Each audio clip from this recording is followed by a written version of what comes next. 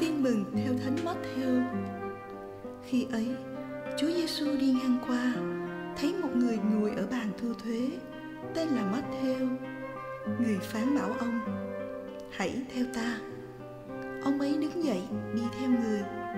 Và xảy ra là khi người ngồi dùng bữa trong nhà, thì có nhiều người thu thuế và tội lỗi đến ngồi đồng bàn cùng Chúa Giêsu và các môn đệ của người. Những người biệt phái thấy vậy, liền nói với các môn đệ người rằng, tại sao thầy các ông lại ăn uống với những người thu thuế và tội lỗi như thế? Nghe vậy, chúa giêsu bảo rằng, người lành mạnh không cần đến thầy thuốc, nhưng là người đau yếu các ông hãy đi học xem lời này có ý nghĩa gì? Ta muốn lòng nhân từ, chứ không phải là hy lễ. Vì ta không đến để kêu gọi người công chính, nhưng kêu gọi người tội lỗi.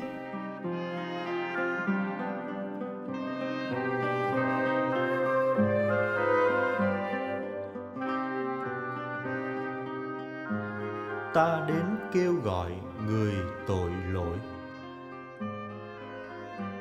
ngay cả khi bị những người biệt phái phê phán về thái độ của mình.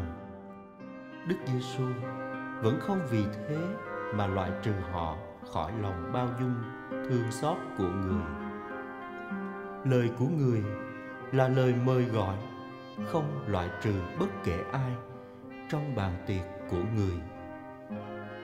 Những người biệt phái cũng được mời gọi nếu như họ ý thức được thân phận yếu hèn của họ và quyết tâm thay đổi nếu muốn, họ có thể ngồi ngay vào bàn của Đức Giêsu và dùng bữa với người. Họ cũng có thể loại trừ chính họ khi chọn không vào chung bàn với người. Nhưng Đức Giêsu đã không loại trừ bất cứ ai. Chúng ta có đang xì xầm loại trừ ai ra khỏi cộng đoàn đức tin của chúng ta chăng? Và giữa bàn tiệc cuộc đời, ta có mời Chúa cùng hiện diện không? thank you